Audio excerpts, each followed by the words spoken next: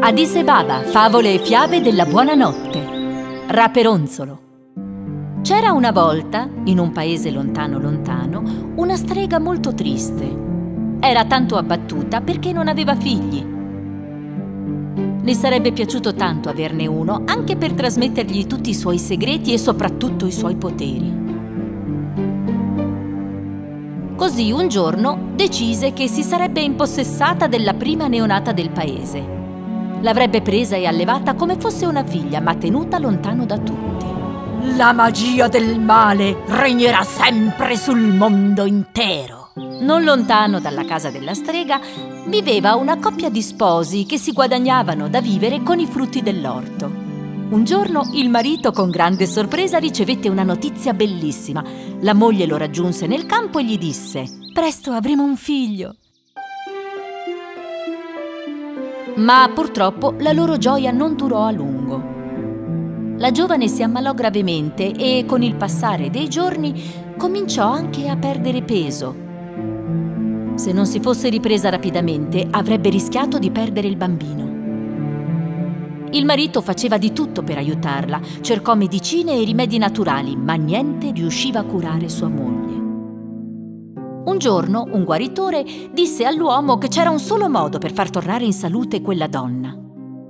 Esiste un'erba curativa in grado di farla guarire, ma a possedere quell'erba è una strega malvagia. Devi andare da lei. L'uomo allora si fece coraggio, si diresse al castello della strega e arrivato là bussò alla porta. Come hai osato bussare alla mia porta?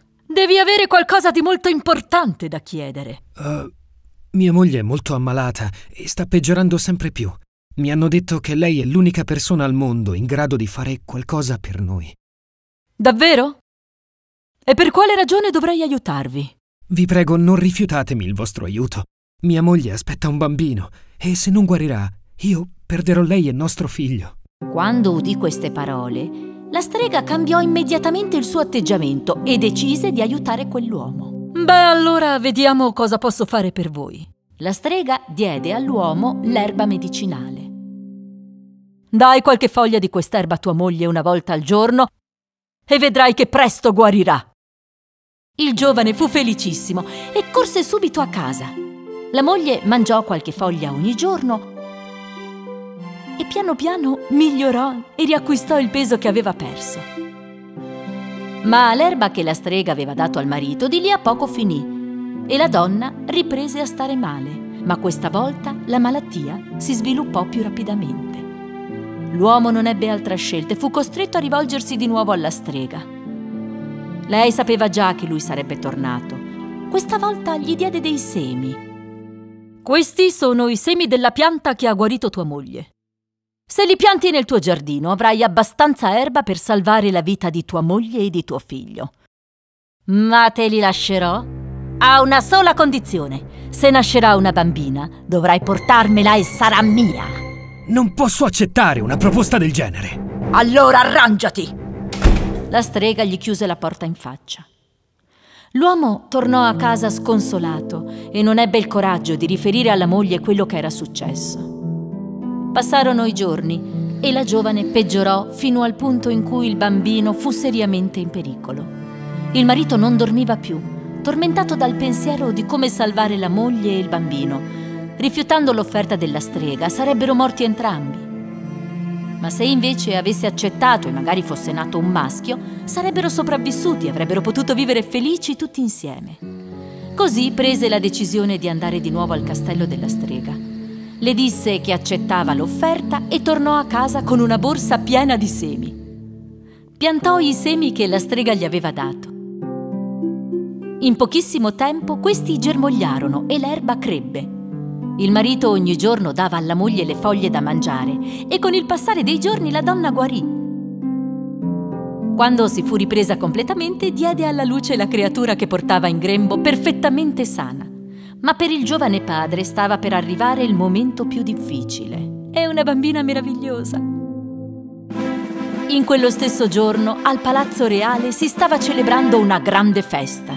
La regina aveva partorito un bellissimo bambino Il re era molto felice perché aveva finalmente un erede a cui lasciare il suo regno, il futuro principe. Tutti nel regno amavano profondamente il re e la regina, che erano molto buoni con il loro popolo. Nessuno avrebbe mai immaginato che un giorno le vite dei due bambini avrebbero avuto qualcosa in comune. La gioia dei due genitori finì molto presto. Infatti di lì a poco la strega si presentò per portare via la bambina. La madre e il padre scoppiarono in lacrime. Oh, mia piccolina. Adesso è mia, ma non preoccuparti, mi prenderò cura di lei. Il suo nome sarà Raperonzolo. La strega prese la bambina e la portò in una torre altissima nel cuore della foresta. Salì le scale fino all'ultimo piano, il punto più alto della torre, e lì mise la bambina a dormire in una culla.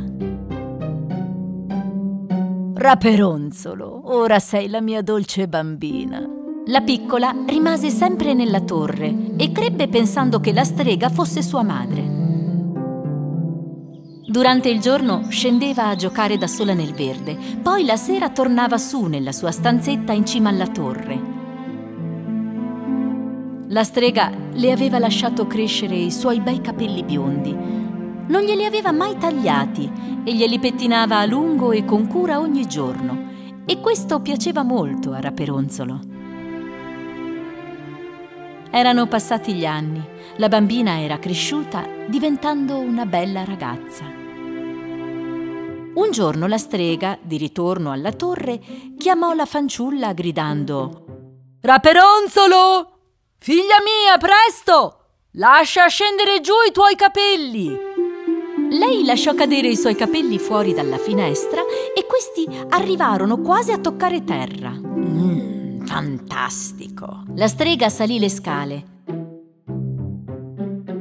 Entrò nella stanza in cima alla torre, poi si fermò, sussurrò una formula magica e all'improvviso gli scalini cominciarono a staccarsi. Nessun incantesimo al mondo, nessuno potrà mai più rimettere la scala per salire in questa torre! Raperonzolo, che aveva visto tutto quello che era successo, si rese conto che non sarebbe mai più potuta uscire dalla torre. La strega per scendere cominciò a usare i capelli di Raperonzolo ogni giorno. E la sera, quando voleva tornare di nuovo in cima, la chiamava. Raperonzolo! Raperonzolo! È arrivata la mamma! Buttami i capelli! Come udiva la voce, la fanciulla lasciava cadere giù i suoi capelli. E la strega li usava per arrampicarsi fino alla finestra.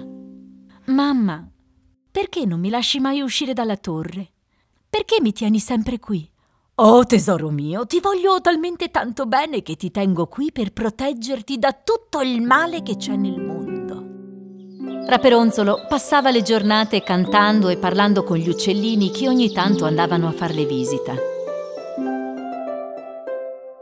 Intanto, al palazzo reale, il principe, che era nato lo stesso giorno di Raperonzolo, era cresciuto ed era diventato un bel giovanotto. Il vecchio re si era ammalato e voleva che suo figlio, il principe, si trovasse una giovane principessa con cui sposarsi, avere un figlio e dargli così un nipotino. Ma sebbene il principe avesse ricevuto a palazzo diverse principesse, non era riuscito a trovare tra loro quella che sarebbe potuta diventare la sua amata moglie. Alla fine il principe decise di mettersi in viaggio alla ricerca del suo vero amore finché un giorno arrivò nei pressi della foresta in cui era nascosta la torre e disse Non sono mai entrato nella foresta. Proviamo ad attraversarla e vediamo se troviamo una scorciatoia.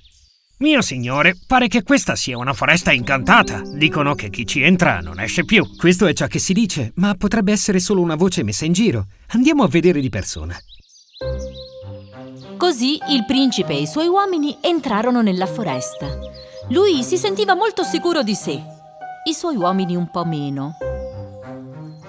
Di lì a poco apparve la torre nella quale viveva Raperonzolo e, dopo un po', si sentì una voce cantare. La la la la la la la la la la la la la la la la la la la Che voce meravigliosa! Avvicinatosi di più alla torre, il principe notò Raperonzolo che stava cantando e fu catturato da quella scena.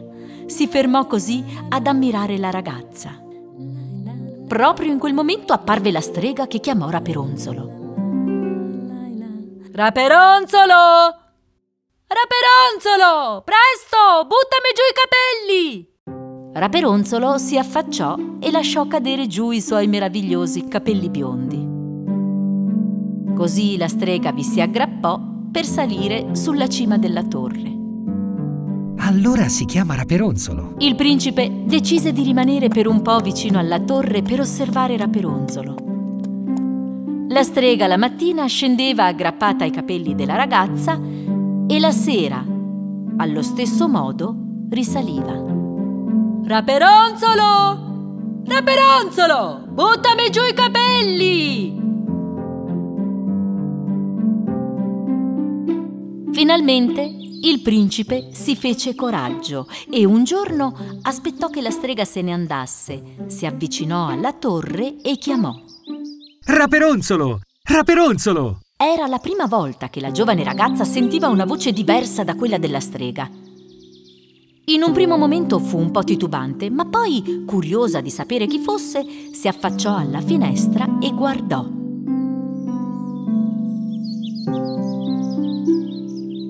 Vide di sotto un bel giovane che la stava osservando. Chi sei? E come mai conosci il mio nome? Sono il principe di questo regno. Quando ho sentito la tua voce straordinaria, ho desiderato conoscerti. Non posso parlare con le persone che non conosco! Devi andare via! Non ho intenzione di farti del male, te lo prometto. Per favore, scendi e parliamo un momento. Non posso! Qui non ci sono le scale! Proprio in quel momento Raperonzolo si accorse che la strega stava tornando. Presto, allontanati! Mia madre sta tornando e non deve vederti! Il principe si nascose rapidamente dietro gli alberi. La strega raggiunse la torre e chiamò. Raperonzolo gettò i capelli e la madre si arrampicò come sempre fino in cima.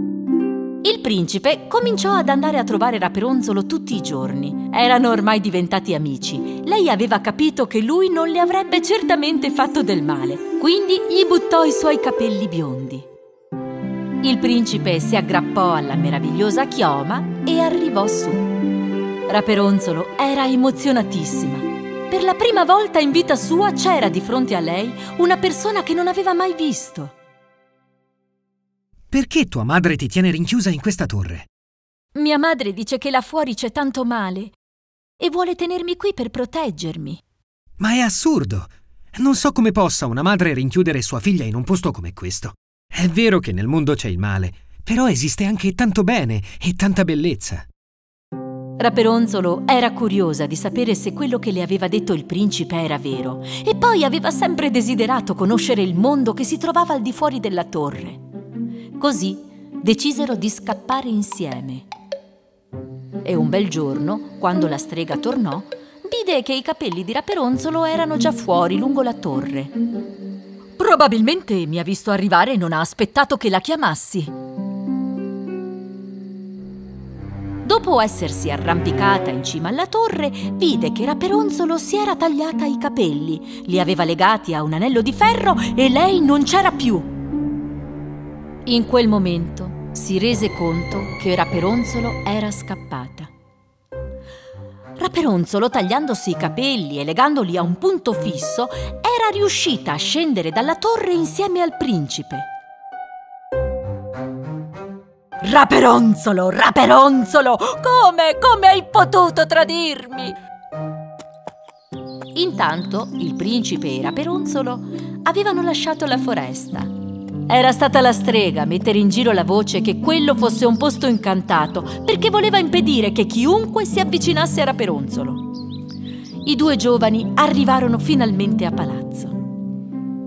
E il principe si presentò di fronte al re e alla regina insieme alla ragazza. Improvvisamente si accorse che suo padre era completamente guarito, più sano che mai.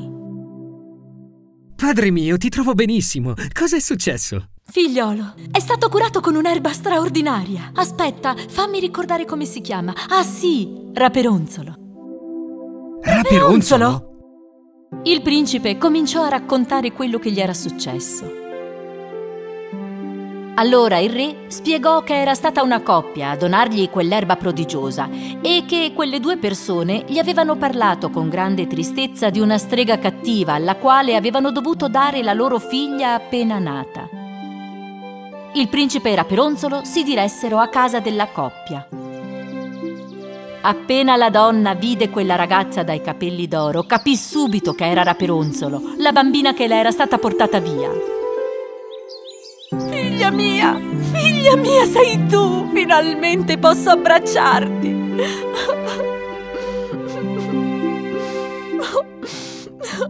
La ragazza ascoltò tutta la storia dall'inizio e capì che aveva finalmente conosciuto i suoi veri genitori. Poco tempo dopo il principe e Raperonzolo si sposarono e vissero per sempre felici e contenti. Ma cosa accadde alla strega cattiva che era rimasta nella torre? Il re l'aveva catturata e costretta a non uscire più. La fece sorvegliare giorno e notte da due guardie affinché non potesse scappare. Così scomparvero insieme alla strega anche tutti i suoi trucchi malvagi.